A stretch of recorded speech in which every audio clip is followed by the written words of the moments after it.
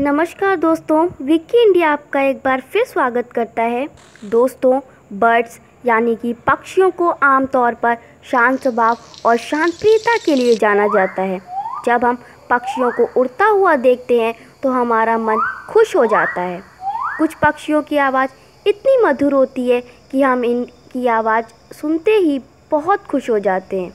तो दोस्तों, आज हम ऐसे पक्षियों के बारे में बात करेंगे जो अपनी कुछ विशेषताओं के कारण इस पृथ्वी पर एक समय एक साथ राज किया करते थे।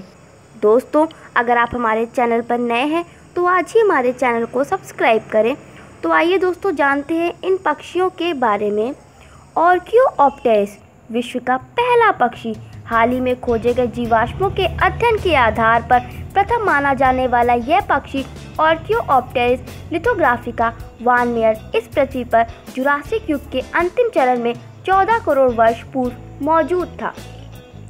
ड्रोमोनिस स्टीटोनी अब तक का सबसे भारी पक्षी, आधा टन भार वाला यह पक्षी ड्रोमोनिस ऑस्ट्रेलिया के विशिष्ट विशाल पक्षियों में से एक था, जो डेढ़ करोड़ से छब्बीस हज़ार वर्ष पूर्व तक के समय के मध्य मौजूद था।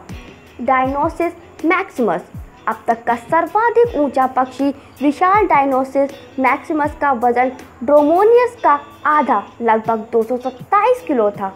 लेकिन इसके अब तक प्राप्त कंकालों में सबसे बड़ी ऊंचाई 3.7 मीटर पाई गई।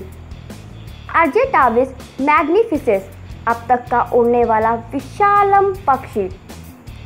पक्षी जगत में उस वक्त हलचल मच गई जब 1979 में अर्जेंटीना के दो जाने माने जीवाश्म वैज्ञानिकों ने यह घोषणा की थी कि उन्होंने छोटे ग्लाइडर, जितने बड़े, एक प्राणी के जीवाश्म अवशेष खोज निकाले हैं। कई अध्ययनों के बाद मान लिया गया कि मैग्निफिसिस की ऊंचाई 1.2 मीटर और वेट 120 किलोग्राम था।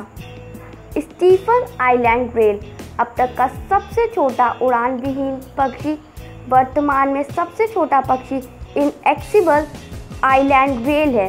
किंतु एक प्रजाति का उड़ान विहीन पक्षी इससे भी छोटा था, जो अब विलुप्त हो चुका है। 1894 में इसकी खोज के तुरंत बाद ही यह लगभग विलुप्त हो गया था।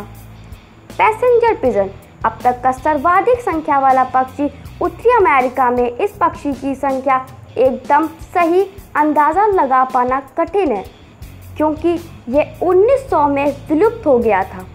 वीडियो देखने के लिए धन्यवाद दोस्तों। आशा करती हूँ आपको वीडियो पसंद आई होगी।